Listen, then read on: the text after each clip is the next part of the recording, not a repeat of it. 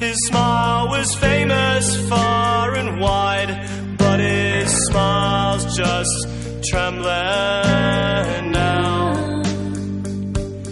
And without rudely breaking him right down to it,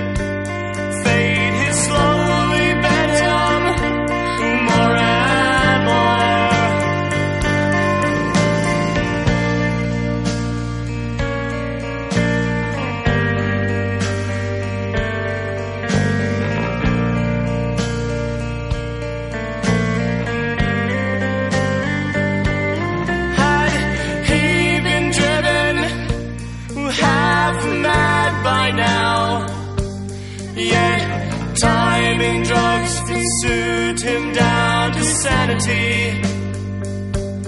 And perhaps